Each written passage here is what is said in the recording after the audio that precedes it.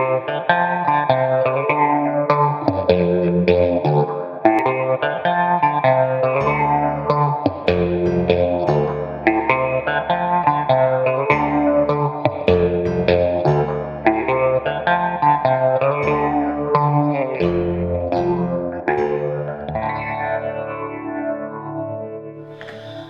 Hey everybody, welcome back to the laboratory. We're trying to get uh, back into the routine of things and um, right before the hurricane came by I was uh, looking at this uh, Gundam and it really captured my imagination so I, um, I started putting it together just to pass the time and um, ended up building the exoskeleton, which is, um, you know, simple enough and uh, quite a bit of fun. And, uh, you know, some parts here need to be, um, you know, put back on here.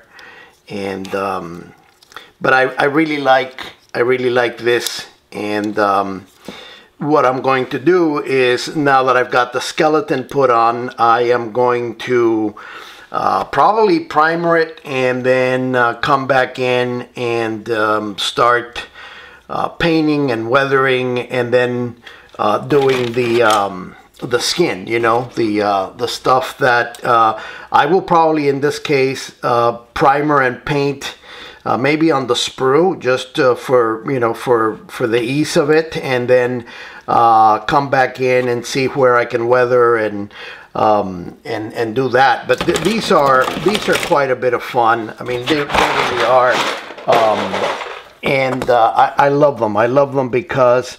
Uh, again, you know these are these are uh, ultimately these are toys, and you can um, and you can have a lot of fun with them. Uh, but I'm going to uh, I'm, I'm, going to really work on this and see if I can uh, get my um, my um, you know mojo back as they say. It's been a while since I've uh, since I've uh, painted or built and so I want to get into it. And I and I also have the other project. I'll probably make a separate video uh, about but anyway if you're ever wanting to do a fun quick project I, I really recommend these Gundams at the um, you know either 144th or 100th scale uh, they're not cheap, but they uh, will bring you much, much pleasure and joy. Uh, just uh, you know, putting it, putting them together and posing them right, and uh, and and doing all kinds of hey, it's doing the moonwalk, yeah. um, so you can you can go nuts with these and uh, really um, have a have a good time. So. Uh, stay tuned in for more Cranky Show coming right up, my friends. We've got some uh, cooking going on here in the laboratory.